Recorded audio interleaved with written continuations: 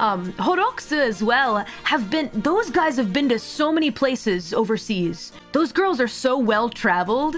Um, so I talked, I talked to them a lot about like you know what different restaurants are like in different places. Um, I don't, I don't know who has said like what countries they've been to and stuff, so I want to, you know, respect their privacy and stuff like that. But um, someone in holoX was like, yeah, food in food in the uh, the UK is really bad.